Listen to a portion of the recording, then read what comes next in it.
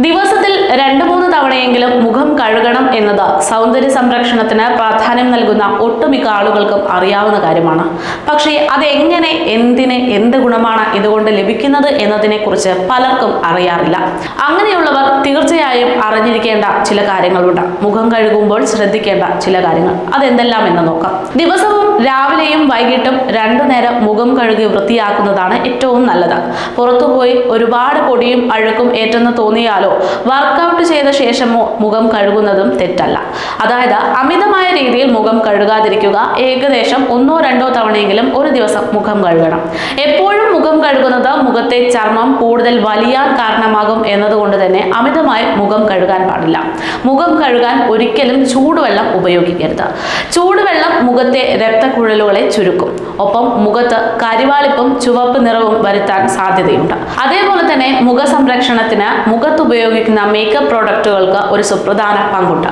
Makeup remover ഉപയോഗിച്ച് makeup നന്നായി നീക്കം ചെയ്യാതെ ഒരിക്കലും കിടക്കാൻ പോകരുത്.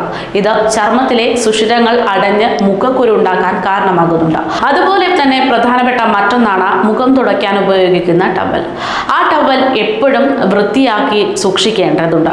മുഖം തുടയ്ക്കാനായി പ്രത്യേകമായ ഒരു ടവൽ ഉപയോഗിക്കുന്നതാണ് നല്ലത്. ടവൽ അണുക്കളുടെ പ്രിയപ്പെട്ട ഇടമായതുകൊണ്ട് തന്നെ അതെപ്പോഴും അണുവിമുക്തമാക്കി സൂക്ഷിക്കണം. മുഖം തുടയ്ക്കാൻ ഏറ്റവും നല്ല തുണി തന്നെ തിരഞ്ഞെടുക്കുന്നത് നല്ലതാണ്.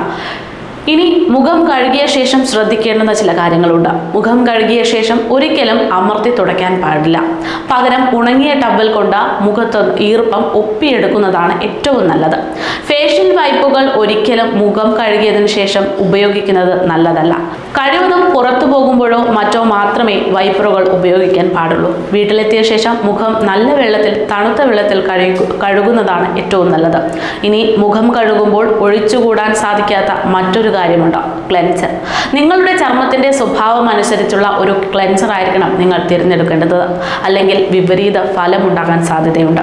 വളരെ ഡ്രൈ ആയ ചർമ്മമാണെങ്കിൽ കൂടുതൽ ജലാംശമുള്ള ക്ലെൻസർ തിരഞ്ഞെടുക്കണം. എണ്ണമയമുള്ള ചർമ്മമാണെങ്കിൽ അതും ശ്രദ്ധിക്കേണ്ടതുണ്ട്. ഇനി നോർമൽ സ്കിൻ ആണെങ്കിൽ ഫോമിംഗ് അല്ലെങ്കിൽ ജെൽ ക്ലെൻസർ ഉപയോഗിക്കുന്നതാണ് ഏറ്റവും നല്ലത്. ഒരുപാട് വീര്യം കൂടിയതും നിലവാരമില്ലാത്തതുമായിട്ടുള്ള ക്ലെൻസർ ഒരിക്കലും ഉപയോഗിക്കരുത്. ക്ലെൻസറിങ് ലോഷനാണ് ഉപയോഗിക്കുന്നതെങ്കിൽ ഡ്രൈ സ്കിന്നിൽ മോയ്സ്ചറൈസർ ഉപയോഗിക്കുന്ന പോലെ പുരട്ടി നീക്കം ചെയ്യണം. ഇനി ജെല്ലുകളോ ഫോമോ ആണ് ഉപയോഗിക്കുന്നതെങ്കിൽ മുഖം അല്പം നനച്ച ശേഷം പുരട്ടുക.